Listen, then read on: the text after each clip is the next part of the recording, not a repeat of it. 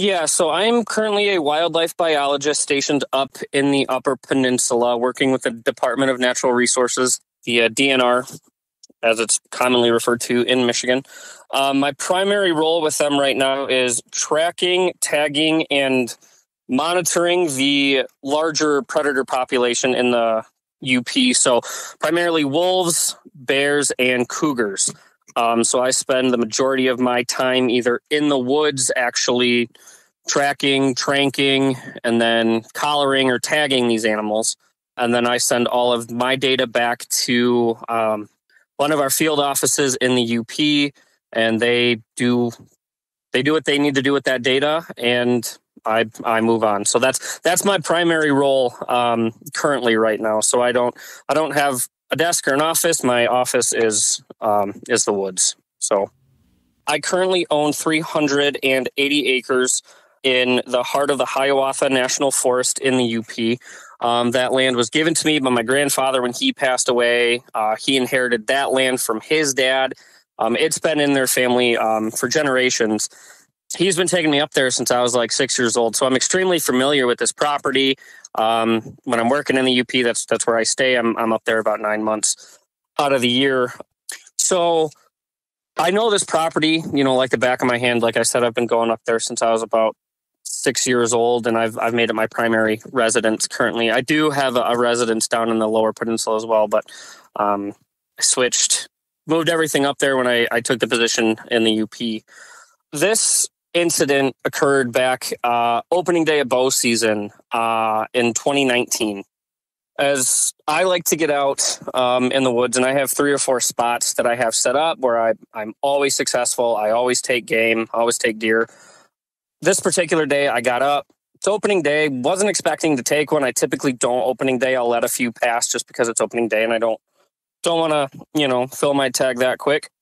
So I get out there about five a.m. and I like I like getting out there when it's dark, putting on my headlamp, walking in, and then watching kind of the woods wake up. Um, birds coming out, squirrels, rabbits. I just I really enjoy that. That's just kind of my happy place. And Wes, you said you were a hunter, and so I think you can kind of picture this. And to any of the other hunters out there, there's about a 30 to 40 minute window right before the sun comes up where everything is just kind of gray. Everything is muted. You see a tree, but you don't necessarily see that it's green. And it's it's fall, so everything is already kind of dead and dying anyways. And so the light hasn't hit it yet, and it's just it's kind of gray. So I'm I'm positioned um, about 35 yards back from a ridge line, and off to my left, a game trail runs up the ridge, and then about 25 yards in front of me, it crosses right where I have where I'm set up. I'm kind of I'm watching this ridge line. It's kind of gray. The sun hasn't quite peaked yet. It's not legal shooting hours, and off to my left, I noticed this kind of a, a black mass just kind of peeking over the ridge line. And my initial thought was, holy cow, that is a huge bobcat. We have bobcats in Michigan, they're all over the place. But this one was 35 yards back, and the most distinguishing feature that I could see were the ears. Anybody seen a bobcat before? They have very pointed ears, kind of smaller, but very pointed ears. Wolves don't have that. Bears don't have that. Cougars don't have that. These were characteristically bobcat ears. So I'm 35, you know, 35, 40 yards back. And the fact that I can pick out these ears, uh, that's a, you know, to me, that's a big bobcat. I'm kind of watching it and it kind of disappears, you know, in some pine trees and it just kind of the underbrush. And I kind of thought to myself, geez, I hope that comes a little closer so I can get a good look at this bobcat figured it, it figured it was gone. So about 10 minutes later, again, I saw it kind of just very slowly move into my field of view. And I'm looking at this and I'm going, that's that's not a bobcat. That's too big to be a bobcat, but that is those are not the ears of a wolf. Those are not the ears of a cougar. And it's it's too low to the ground to be a bear, and those aren't bear's ears, anyways. And again, as I'm looking at it, it's just kind of a shape. I can't it's I'm looking at it through some you know underbrush and foliage, and um, I'm just I'm looking at this thing and I'm going. First of all, that's black. Whatever this is, it is jet black. And those those ears just those ears are what kept bugging me. So again, it, it just it kind of it disappeared into a little I don't want to say pine grove, but there's like three or four um, little like pine tree saplings that I kind of I kind of lost it lost it in. And about 5 minutes later it kind of I don't want to say like emerged, but I caught sight of it again directly in front of me and this time it had crossed the game trail that was 25 yards out from me and it was probably 25 to 30 feet in front of me. So at this point, it hits me like that's a wolf. There, there are black wolves around. Michigan is primarily has gray wolves. There have been some black wolves seen in Michigan. Um, black wolves tend to be larger and um, they hunt alone. They don't like they typically don't run with a pack. They're solo hunters so my first impression was I could see the shoulders and I could see the face, but it it was it was a wolf, and its muzzle looked a little. It, the muzzle looked a little longer, and the ears again. Wes, I'm going to keep coming back to the ears because the ears were driving me nuts this whole time. I wasn't thinking cryptid, wasn't thinking werewolf, wasn't th- wasn't thinking any of that. I've spent years in the woods and I have I have never come across anything that would lead me to believe there was something in northern Michigan. Now, not saying I don't believe everybody who's seen it because there are too many reports for me to just shrug it off. Personally, I just had never seen, heard, felt anything that would even lead me to think, oh, that was a cryptid or that was a Sasquatch or whatever. So I'm looking at this thing and it I realized this is displaying every characteristic of a stalk. This thing knows I'm here. It's staying out of sight. I didn't I haven't heard a thing, not a twig, not a rustle of a leaf, like nothing. That it has been dead silent. And when I say dead silent, like that, there's birds chirping overhead. Like it's not like that eerie, like everything leaves the forest. Like that's that's again why I wasn't thinking cryptid. I always thought if I have a cryptid experience, the sun's going to go bl- like I thought it was going to be a big spectacle. This to me was, you know, I'm getting stalked by a wolf. Yeah. You know, this thing's this thing's creeping up on me. So again, it's 25, maybe 30 feet away, about two feet off the ground, hunched real low. So at that point, I just okay. So I drew my pistol. I carry a 45. Um, in Michigan, you don't really need anything bigger than that. I'm not going to carry a hand cannon or you know a 44 or a 500 mag. Um, if I'm going to shoot something, I want something that I can shoot, and if I need follow up shots, I can accurately take follow up shots. So I simply unholstered it and kind of put it in my lap. I'm like, okay, this is kind of cool. You know, I'm getting up close. I'm seeing, you know, stuff that I haven't seen since college. As long as this thing just kind of backs away and keeps its distance, we're fine. And you know what? I can leave the woods and tell my supervisors about it back at the office. Um, so at this point, it starts like getting a little lower and still creeping forward. Now, I still like I couldn't make out arms or legs or shoulders, but I could see the head and I could I guess I could see the shoulders. Um, but I still couldn't make out exactly what this was. So at this point, I'm like, okay, I, I don't like this. This doesn't seem to be backing down. That's when I kind of got this weird feeling in my gut. Like, I'm up here in the middle of nowhere. Nobody really knows where I'm hunting. My nearest neighbor is probably 30 miles away.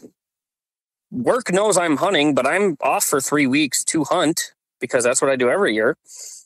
You know, if, if something happens, I'm going to be out here for forever and no one's going to find me. My parents won't know what's going on, my siblings.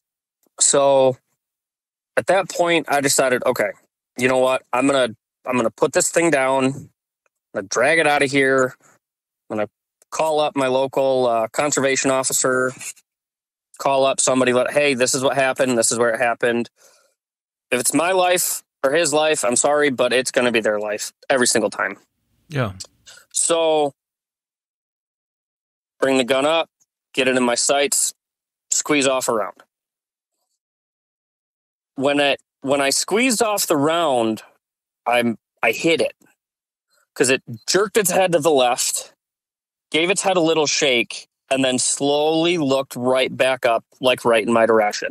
So, if you've ever seen a dog like run into a sliding glass door, just kind of steps back a little dazed and shakes his head and just kind of walks off. That's what this reminded me of. Like that fazed it, but didn't do anything to like stop it from coming. And at that point, I was maybe I winged it. Did I miss it? Did it like like there's no way I just hit something in the head with a 45 and it just shrugged it off. At that point, I decided to try what is typically referred to as a intimidation display. So wolves do it, bears do it when they stand up on their hind legs and growl. Wolves will get real low and show their teeth. Um, those are intimidations intimidation displays. They're not necessarily, I mean, they're aggressive, but that doesn't mean the animal is about to charge you. All that really shows is keep coming forward and things are going to get ugly. Most of the time, if you start backing away, they're going to back away and they're going to leave. So I was like, okay, well, this is clearly a predator. It's an apex predator. It's it's probably never had anything stand up to it and be aggressive towards it. Usually they turn and run. So at that point, I jumped off jumped up off of my seat and just like yelled at it, never taking it out of the sight of my pistol. I've got this thing dialed in and I, I just jumped up and just kind of yelled, screamed.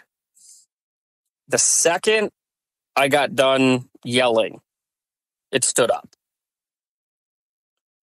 And it didn't stand up in like the traditional sense of the word. Like it didn't push off the ground with its front legs and kind of, you know, lift itself up. It it was like that classic scene in the movie Nosferatu where all of a sudden the vampire just kind of like stands up out of the coffin. Like this thing was just all of a sudden just like just like up.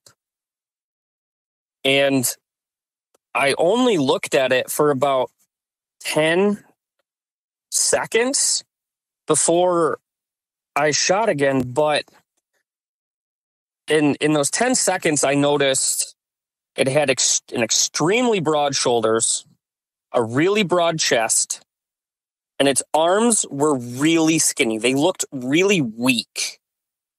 And they were really long, like they ha- they hung down almost to like his knees.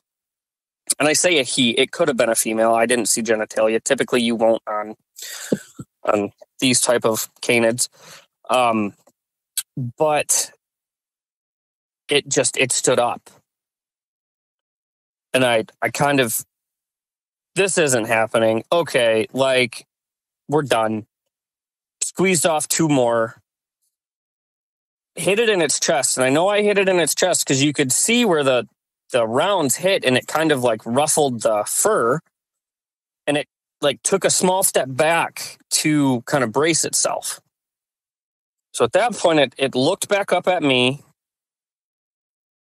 and slowly, slowly sank back down to the ground, back to all fours, and just just slowly backed away into the brush and and that was it. It it was not like your typical I've heard plenty of your dogman stories and, and a lot of people compare them to Anubis. This was this was not anything like that. The only thing about this that had like a human characteristic was that it had broad shoulders, a broad chest, and then it like tapered down to his waist. Like you see on like really fit, not necessarily like bodybuilders, but guys who are in really good shape, broad shoulders, broad chest, tapers a bit to the waist. That was the only thing about this that I could say looked even remotely human. Everything else, everything else was completely. I mean, if I tell you close your eyes, picture a werewolf. I mean, that's and it sounds dumb to say, but Wes, that's what it was. That's what I saw. That's what I shot. Yeah, I'm fascinated by your encounter, Matt. And you know, being a wildlife biologist, I mean, you're out there all the time. You know the predators, you know the non-predators, and then you run into this thing. I mean, you're an educated. This is what you went to school for, and now you're running into this thing you've never seen before. Um, I want to ask you. I mean, what did you think it was? A 45 bullet going down range, that's 230 grain. It's a lot of lead going down range. You'd think you'd put it down, uh, hitting it, but what was kind of going through your mind at that moment? Um, honestly, Wes, I don't, I don't know. Um, again, the the first the first shot, you know, I was I might have missed it. I might have, you know, winged it. I might have, you know, maybe it was underpowered round. And I mean, you take a 45 ACP, go out to Africa and shoot a water buffalo with it, it's going to laugh at you. You know, a 45 is a big projectile, but in in terms of velocity, it's moving very slow compared to other rounds. Yeah, but, I'm sure if one hit my head, it would blow out the side of my oh, head. Oh, know? yeah, ab- absolutely. Um, and and that was one of the big things that, like, when I did eventually leave the woods, I just, I, what, what was that? Like, I, I kind of didn't believe myself for like a day and a half. Uh, you you fell asleep. You were lucid dreaming. You know, as hunters, I think we can all say, "Hey, we've all fallen asleep in the stand or in the blind or on the ground." But no, I had three rounds missing from my magazine when I got back. It, yeah, I I can't explain. I can't explain that away. I can't. I don't have an explanation for it. There's there's nothing that I can say that would even remotely come close to explaining how something you know i'm not going to say small because it was it probably stood about seven seven and a half feet. Like it was big but you shoot a deer with a 45 acp it's going to go down. You know you shoot a bear in the head probably going to go down. Those are those are decently big animals. Um so yeah so i that explanation i just i i don't know